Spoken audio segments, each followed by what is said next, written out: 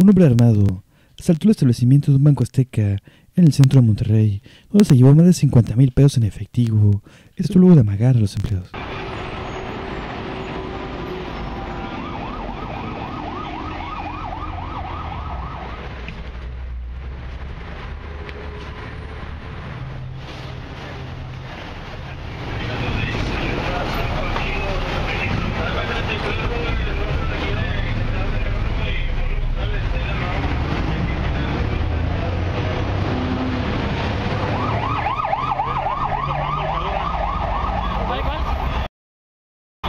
vuelo